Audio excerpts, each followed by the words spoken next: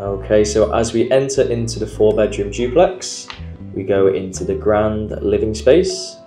As you can see, full views over to downtown and future views of the lagoon. Full floor to ceiling windows over two levels. It's a brand new unit, over 2,600 square foot.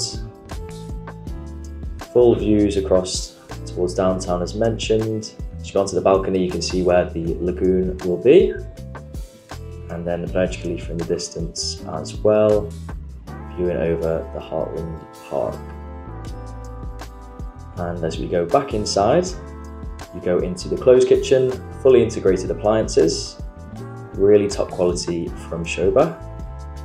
And then as we go on through, you've got the downstairs bedroom, wardrobe space, ensuite, and full view over to downtown as well. Really spacious bedrooms throughout the whole apartment in this one.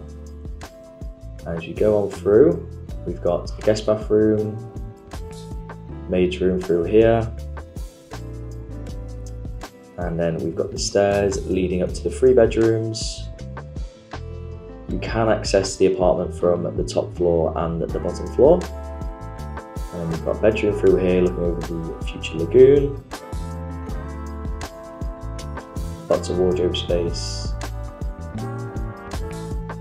And then ensuite as well, which is like a Jack and Jill style for the landing. Another bedroom with built-in wardrobe space, full view over to downtown. Again, a nice sized bedroom.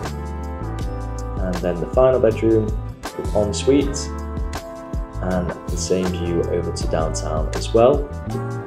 So if you are interested, do let me know and I can show you around at any point. Thank you, take care.